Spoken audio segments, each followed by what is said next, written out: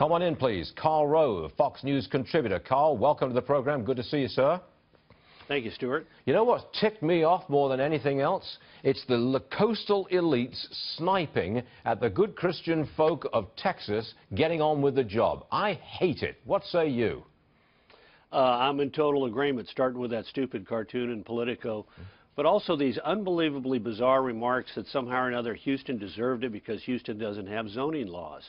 Uh, I would remind uh, the liberal critics of Houston's uh, pro-growth policies that Hurricane Sandy hit one of the most um, one of the municipal areas in America that it has the most regulations about what you can build and where you can build it, namely the greater New York area.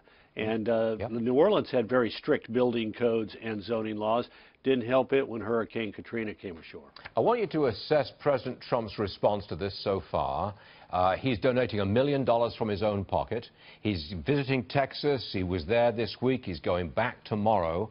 Uh, and also, he's uh, arranging this, I think it's a $5.9 billion package, an initial down payment on the, on the, uh, uh the recovery effort. It looks like He's doing a good job, and it looks like that $6 billion should sail through without much opposition. I think that's right. He has been doing a good job. Uh, his comments have been good.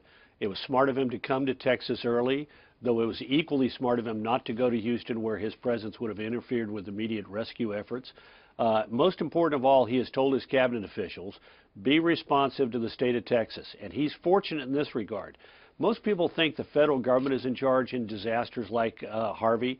Not so. The governor of the affected state is in charge, and we've got a terrific governor here, Governor Abbott, who has been planning for a moment like this for months, uh, training his people, holding tabletop exercises, uh, going through, methodically going through what might need to be done uh, in the event of an incident like this. And as a result, he and his team have been well prepared to say to the federal government, here's what we need.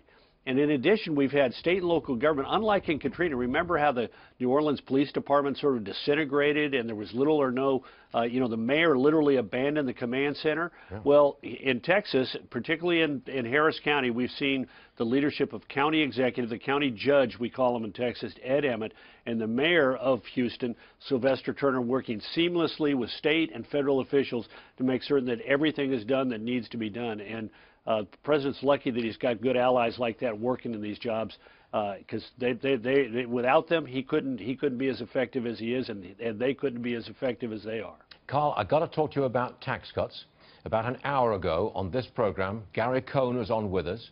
He gave a, a sort of an outline of the plan that's going to be presented, a lower corporate tax rate, a slightly lower top income tax rate on wealthier people, on high income earners, with some of the money clawed back from getting rid of the uh, the um, what's the word? The uh, from uh, the state and local taxes. The, uh, deduction. the, the deduction. the deduction. That's right. Yeah. eliminate the deduction for state and local taxes which actually is a hit especially on New York Connecticut New Jersey California.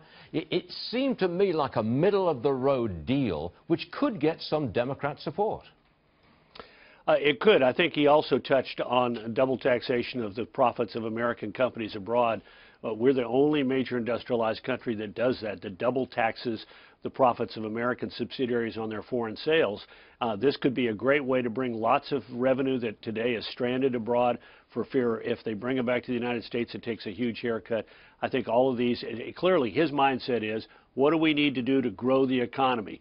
And so uh, they're willing to take the tough thing and say, we want to lower corporate tax rate because that's going to grow the economy. We want to uh, we want to limit how much the government can take from anybody in their personal income because that'll help grow the economy. We want to have a territorial tax system uh, like the rest of the industrialized world so that we're competitive and create jobs and grow the economy. And um, I thought uh, the administration's on a good path. I, I, I can't see how that would not be attractive to that vast bulk of people who are in the middle in Congress. Not the far right, the far left, but those, that bunch of people in the middle. This is surely attractive to them.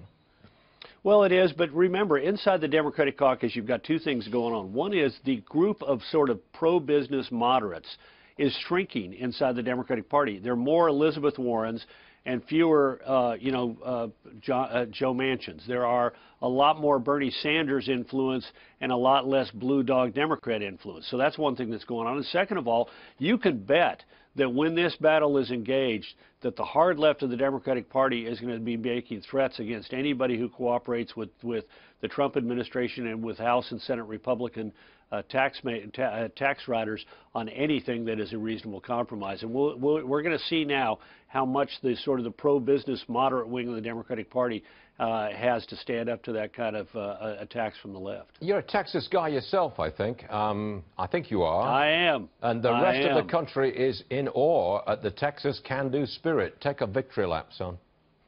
Well, I wrote about it in my column yesterday, and it's so heartwarming uh, to hear the, to, to see these pictures and hear these stories.